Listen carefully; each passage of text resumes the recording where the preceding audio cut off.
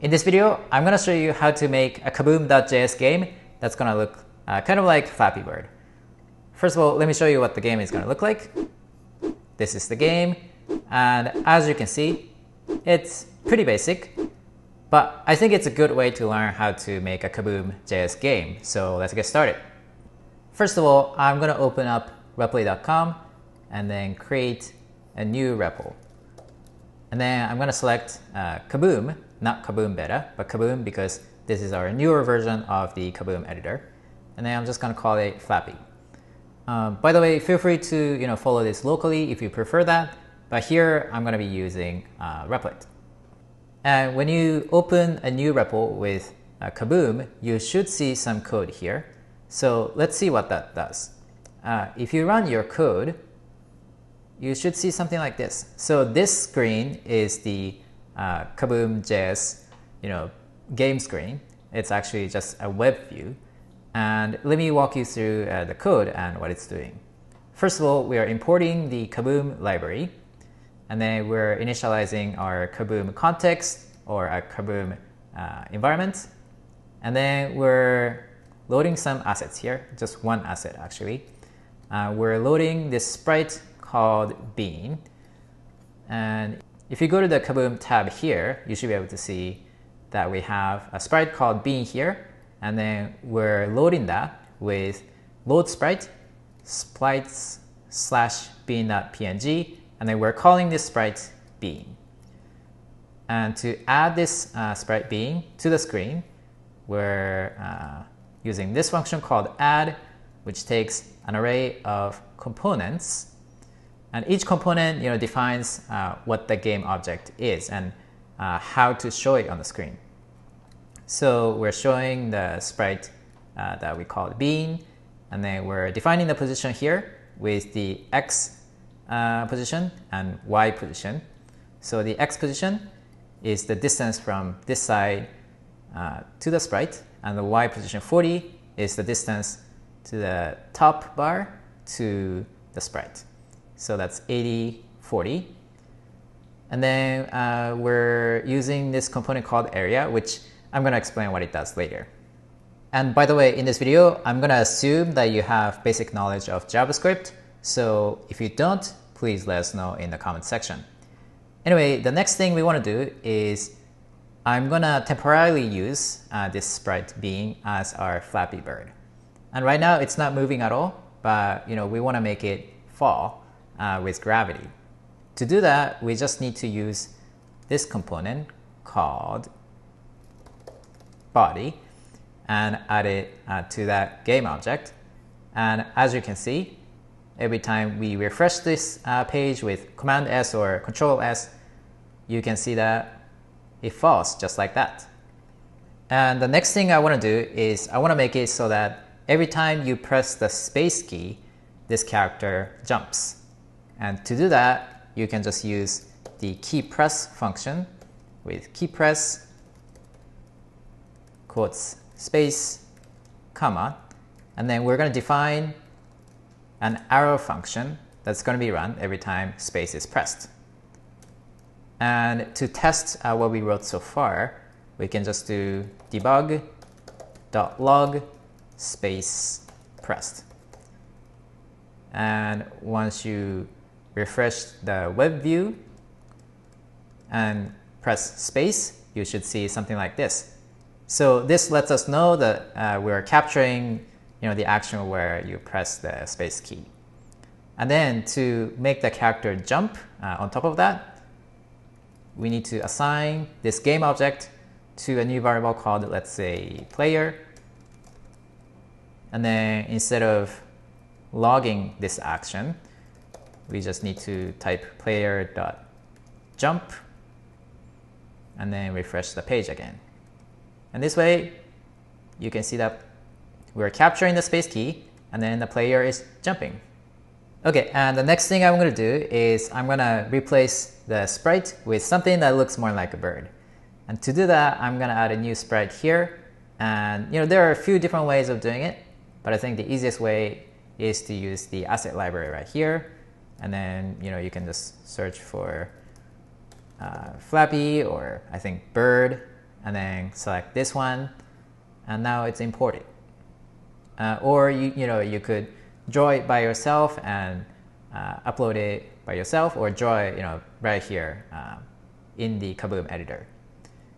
Anyway, uh, to use that sprite, instead of this bean sprite that we were using, I'm going to replace this with birdie and then this with birdie.png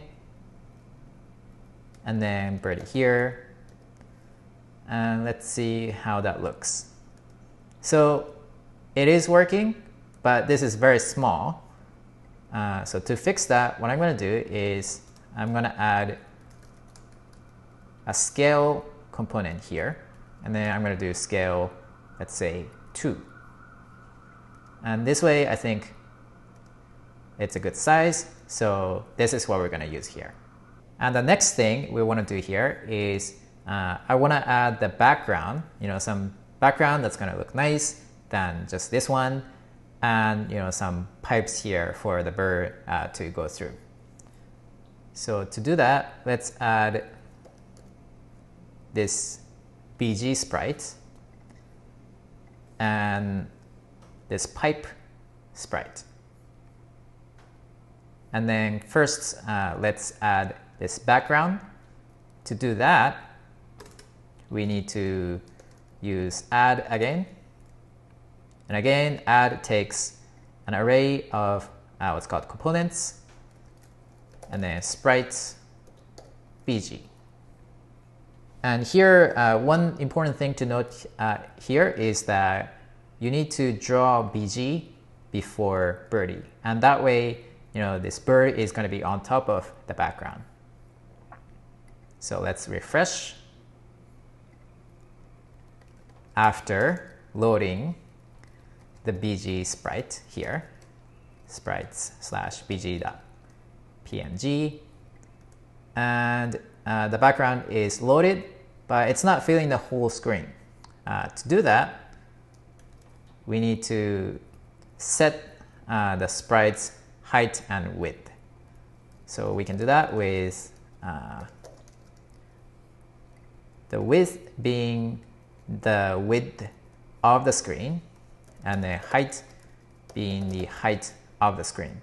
So this function with uh, parentheses, this uh, gets the width of the screen and the same thing with this function height. Hopefully this is going to work, so let's see. And it is working. So this way, you know, the background is uh, filling everything. And the next thing uh, I want to do is I think I want to draw uh, the pipe, or one of the pipes at least. So let's draw that after the player. And to do that, I'm going to say sprite uh, pipe and then the position should be uh, the width of the screen minus, let's say 100. And the Y position, uh, for the Y position, I'm just gonna use zero for now and uh, see how it looks. Again, you know, I forgot to load the pipe sprite, so let's fix that here by writing pipe here and then sprite slash pipe PNG. Okay, so uh, the pipe is drawn here. And by the way, there is another way to uh, know, you know, what the path of these uh, sprites are. Let me just show you that quickly. You can just say insert load code right here. And this inserts the code for loading the sprite. Anyway, this pipe is in a weird position, so let's fix that. You know, we need to bring it down over here. To do that, uh, we just need to change the position of the pipe, uh, the Y position in particular. Let's say 300, and let's see how that looks. Uh, I think I went down a little too much, so let me try 200. And I think it looks okay, you know, it looks okay for now at least. And then, you know, we want to flip this pipe and then put it on top of it, just right here. And uh, to do that, we're going to copy and paste uh, this add function here. And then we're going to say sprite pipe and then flip y true. So we're adding uh, an object, a JavaScript object here to define you know, some properties of the sprite. Uh, here we're saying, you know, we need to flip this pipe vertically. And then uh, we're, you know, join these two pipes on top of each other. So we just need to change the position. I think the X position is going to be the same. And for the Y position, let's try 200 for now, minus 200. Okay, so that way, you know, we were able to draw it kind of, you know, roughly in the correct position. And I put minus 200 to show that, you know, we need to draw this pipe from right up here. But there's an easy, you know, easier way to uh, do something similar. So here, I'm gonna replace this with 100. 100 maybe, I don't know, maybe around here, I'm not sure. But anyway, we want to be able to draw the pipe from the bottom left corner from the Y position of 100 right here. So to do that, we just need to say origin bot left for bottom left. And that way, this is 100 right here, that's the Y position. And we're, again, we're drawing this pipe from the bottom left corner. And the next thing we're going to do is, you know, right now we're hard coding the positions of these pipes, but we want to be able to do it programmatically. Uh, to do that, let me explain what I'm, what I'm going to do with a drawing first. So first of all, we can get the height of the screen with this function, height, parentheses, and then we can get the central point, the central y position of the screen with height divided by 2. And then later we're going to define a new variable called pipe gap, which is going to be the gap, uh, the length of the gap between these two pipes. So once you find the uh, central position with height divided by 2, we can just add you know, half of pipe gap this way, and then we get the y position of the bottom pipe. To get the y position of the top pipe, we just need to say height divided by 2 minus pipe gap divided by 2. So let's first try that. So like I said, I'm going to first define a constant called pipe gap. Let's just set it to 100 for now. And by changing this number, you'll be able to change the difficulty of the game. And then when we draw these pipes, uh, for the bottom pipe, we can just say for the y position, height parentheses divided by 2 plus pipe gap divided by 2. And then we can do something similar for the top pipe,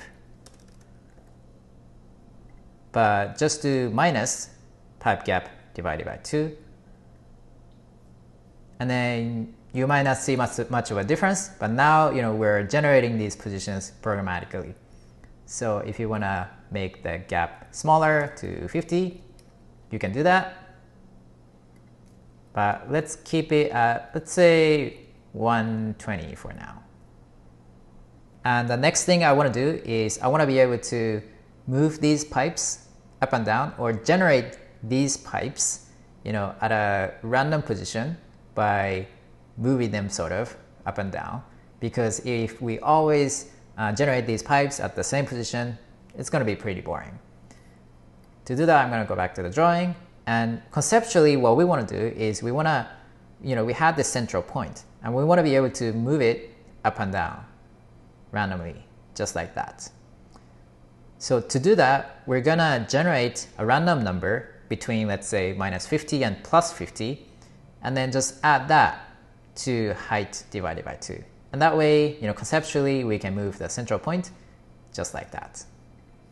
And to do that, we have a function for it. So here, what I'm going to do is I'm going to say constant offset equals rand. So this is going to be the random number between minus 50 and 50. And here I need to say height divided by 2 plus offset plus, plus offset right here. And then same thing for the top pipe as well, plus offset. And this way, every time you refresh this game, you can see that the pipe should be generated at a random position, you know, sometimes over here and sometimes over here. And the next thing we want to do is we want to be able to move the pipes to the left. So that way, this birdie is going to stay here and then the pipes are going to come over here. To do that, we're going to use this action function. And this is a function that we can use uh, to specify something we want to do to certain game objects every frame. And uh, to use this action function, we need a way to find these two pipes. And to do that, we're going to use what's called a tag. Uh, so let me show you what I'm going to write here. I'm going to put string pipe here, and then the same string pipe here. So this string is one of the components of these game objects and it's what's called a tag. And this is a way to specify the type of these game objects. So we're tagging them with pipe and we can uh, find these game objects using that tag in the action function. So the first argument in the action function is going to be tag of the game objects that we want to you know, do something with or do something to. And then the second argument is going to be the function that's going to be run every frame. And that's going to take you know, each of these game objects. Uh, we're calling it pipe again, but this is you know, a JavaScript variable this time. And then inside this function, we can just say pipe.move minus 60, 0. Move is a function that we can use to move anything in the game. And then we're specifying the x, x offset, which is minus 60, and y offset, which is nothing, 0. So with this, the pipes are going to move like that. If you want to make it slower, you know, you can change the number here to let's say minus 100. It's slightly slower now, but let's change it back to minus 60 for now. And the next step is to detect the event where the player collides with one of the pipes because right now when that happens, nothing happens. So we need to fix that. And to do that, we need to use this function player.collides. And this function is going to take two arguments. The first one is going to be the tag of the objects that we want to detect player colliding. And the second argument is going to be the function that's going to be run when that event occurs. So for now, I'm just going to say debug.log collided. And with this code, let's see what happens. So actually, nothing happens. You know, we don't see the log here, uh, the collided. And that's because we're missing something. And that's this component right here, area. So this component uh, tells Kaboom to create a collision area for this particular uh, game object. And same thing for this one. And we need this component for, the, for both of the things that are colliding, you know, for the pipes and the player, which already has area. And that's why it wasn't working before, I believe. So let's see if that's actually the case. And now it's working. And of course, we don't want to just show this string as a log. You know, we want to go to, let's say, a game over screen. So how do we do that in Kaboom? To do that, we're going to use what's called scenes. Uh, first of all, let me explain what they are.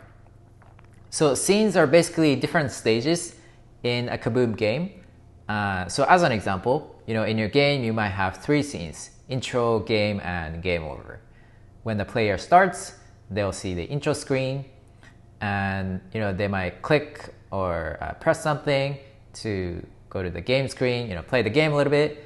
And when they lose, you know, they'll go to the game over screen and you can ask them to, you know, do some action to go back to the game again. So this is an example of how scenes can be used, but in this particular game, we're gonna use only two scenes. Uh, game, which is where you can play the game that you know we're developing right now, and the game over screen, which is gonna say just game over and you know show uh, the current score and the high score later too. To make all of that, the first thing we're gonna do is we're gonna wrap pretty much everything we wrote so far in a scene called game. To do that, I'm gonna use the scene function. This is gonna take two arguments. The first is gonna be the name of the scene, and then the second is gonna be the function that represents what we need to put in that scene. So we can just do that, and let's see what happens. So now you see a blank screen, and that's because we have uh, we have defined this scene, but we haven't loaded it yet. So basically, Kaboom doesn't know which scene to load unless you tell them explicitly. And to do that, you can just write go game, and now it works.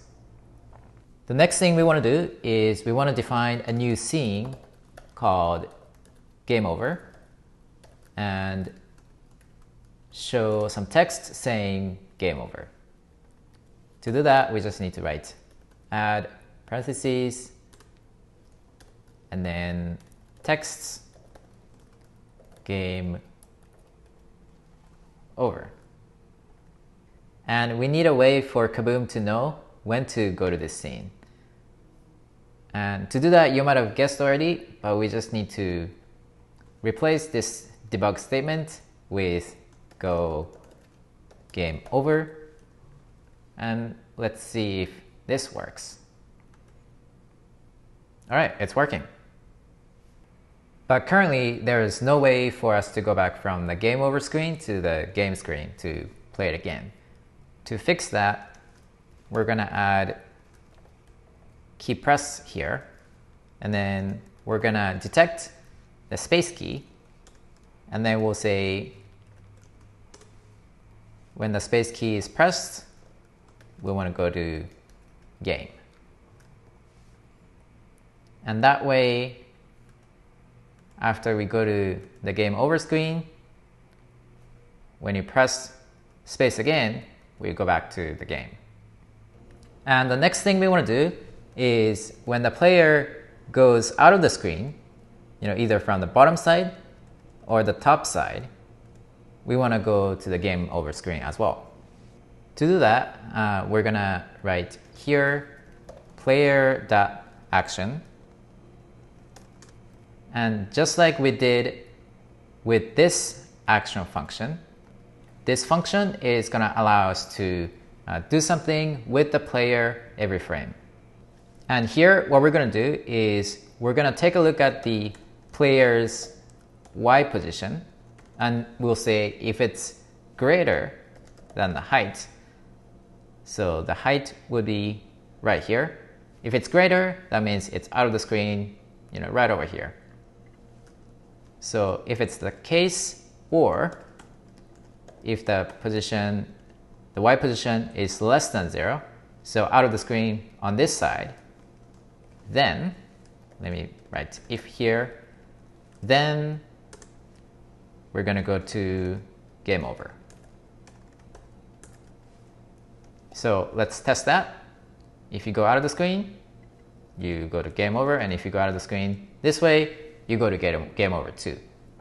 And actually, uh, what we're going to do here is we're going to add plus 3 here to the height and minus 3, minus 30 here to allow the player to go you know, a little bit out of the screen, but not too much.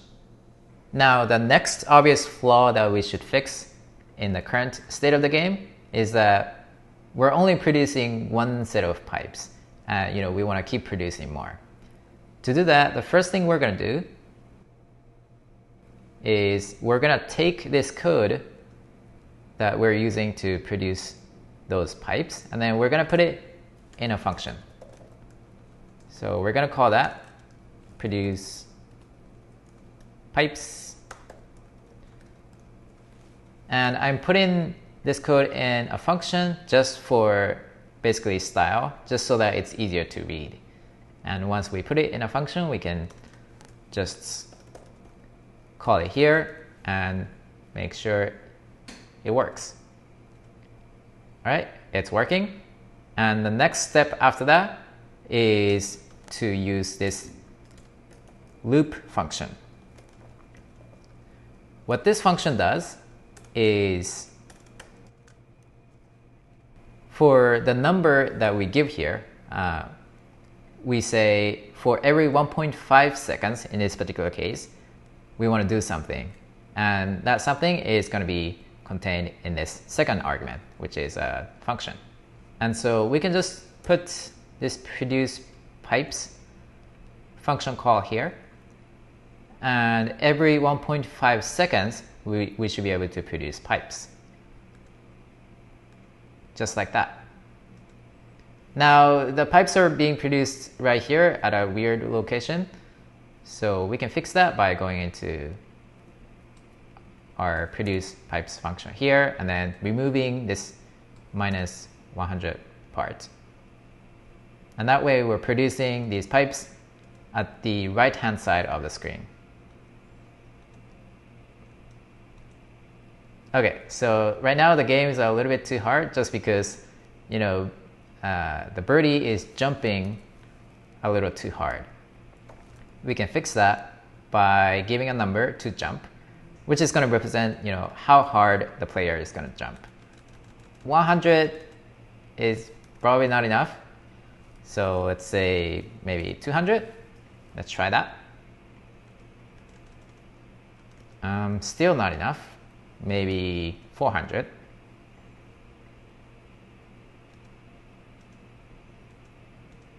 Okay, I think it's pretty good. I can play pretty comfortably. And if I want to change the difficulty, you know, I can change uh, these numbers like how hard uh, the player jumps and how long uh, the gap is or how wide the gap is. And just looking at the game here, I noticed these pipes are being made at the exact same height every time. So let's see what's going on here. Uh, actually, I checked it earlier, and it turned out the problem was we're producing this random offset outside of this produce pipes function. So let's fix that by putting it here. And now it should be okay. Yeah, it looks okay. The pipes are being made at different heights and it's more interesting that way. Okay, and there are only a few more things that we want to add to this game. The first thing we want to add is a score system. So when the game scene is loaded, we're going to define a new variable called, let's say, just score. We're going to start at, we're going to start at zero, and then we're going to use the bottom pipe to keep track of if the player has passed one of these pipes or not.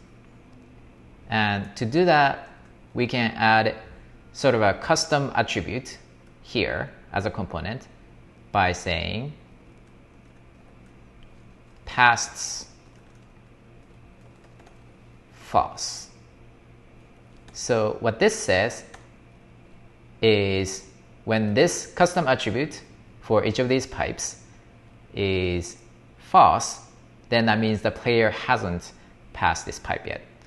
And when it's true, you know, the player has already passed it. And then we're going to go back to the pipe action right here. And here we're going to say if the pipe, if the player hasn't passed this particular pipe, and if the player's x position is greater than the pipe's x position, then uh, we're going to mark the pipe as passed, and then we're going to increment the score by one. So let me write that and then explain that again. So like I said earlier, what we're trying to do here is we're trying to say if the pipe hasn't been passed yet, so if pipe has triple equals false, and if pipe's x position is less than the player's x position, then we're going to set pipe pass to be true, and we're going to increment score by 1. And to make sure it works, let's just log the score here for now.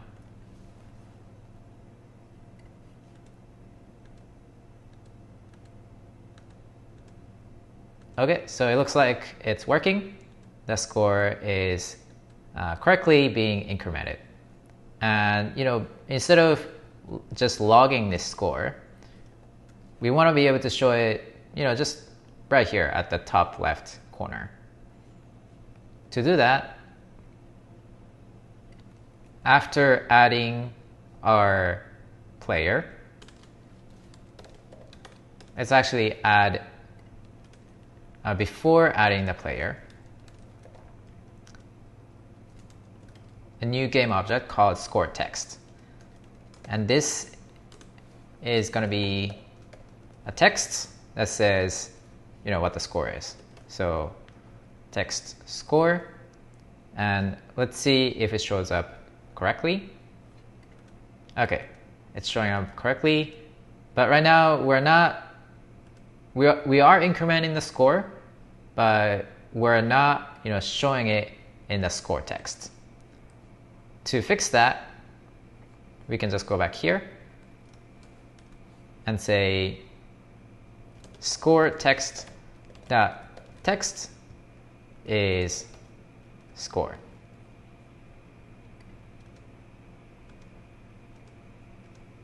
all right? It's working, but I feel like this text is a little bit too big, so let's fix that. To fix that, I think the syntax for that is, you know, in the text function, I think it's size um, 40. Let's see if that works. Um, maybe a little bit too small. Let's try 60. A little bit too big. 50 might be okay. Okay, I think this is a good size. I mean, you can still read it, but it's not too distracting from the game. So this is what we're going to go with. Okay, we're almost at the end of the video. We're just going to add three more things to this game. The first is the ability to keep track of the high score. The second uh, is we want to be able to show the high score and the last score in the game over screen. And the third is we're going to add a little sound effect to you know make it a little bit more polished. So let's do that. The first thing we're going to do is we're going to show the last score in the game over screen. Uh, doing that is actually pretty easy. We just need to find you know all the instances of the uh, function call for go that goes to game over, and then we need to add a second argument here, and that's going to be score. And then this scene function is actually going to be able to uh, take that number, score, and we can show it right here. So here what we're going to do is we're going to say backspace n to show that we need to create a new line. And then we'll say plus score. Actually, we're going to say score plus score. So let's see if that works. When I die, it shows a score. If I get a better score, that's reflected in the game over screen. And then the next thing we want to do is we want to be able to keep track of the high score. To do that, we're going to define a new variable here called high score. Outside of any of the scenes, because this is going to be common, you know, amongst all the scenes. And then we'll say in the game over scene, if score is greater than the high score, then update high score. And here, I'm just going to reformat it a little bit. And then I'll say plus new line or backspace n and high score plus high score. Hopefully this is going to work. So let's see. Um, it's going out of the screen. So let's make the text a little bit smaller. So I'm just going to say size.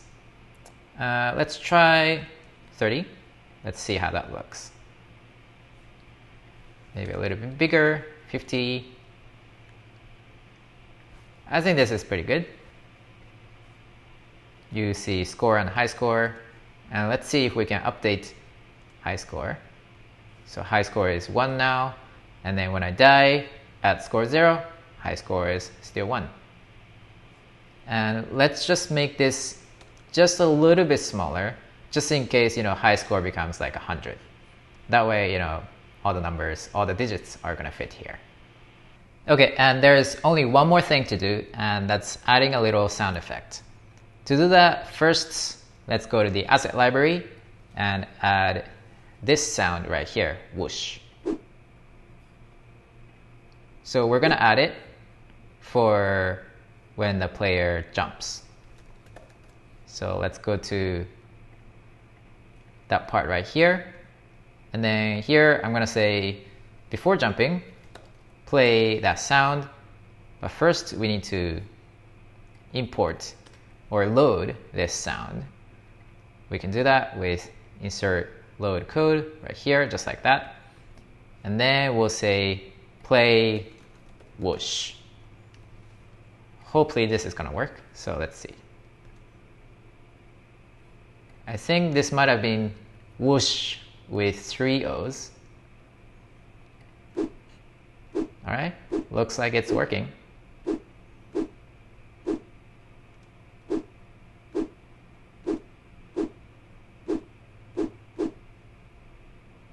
Okay, so that's the game. Uh, but there is one more thing I wanted to show you, and that's this game I ended up making. I'm calling it Reverse Flappy because you know obviously it's reversed. Uh, you know I just wanted to show you this game uh, just as an example of what you can do uh, with Kaboom. So as you can see, you know I added uh, some sound effects, music, and you know I polished a little bit. And you know, some people think it's hilarious. Uh, some people think it's fun. And I think it just shows you that it's really easy to build a game, you know, quickly with Kaboom, and the process of building it is really fun too. Um, so you know, if you want, you know, you can check out the source code uh, of this game, or you know, the simpler version of the same kind of game uh, that we just made together and uh, yeah, have fun making games.